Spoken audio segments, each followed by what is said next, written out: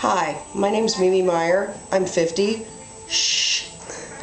I came to Dr. Nason last week because I had serious numbness and, and cold feeling in my left leg, and it was very uncomfortable and annoying.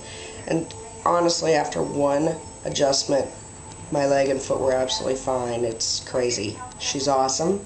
I'm back again this week just as a follow up, and I fully endorse everything she does. I've been coming to Dr. Nason for close to 20 years now, and she rocks. Thank you.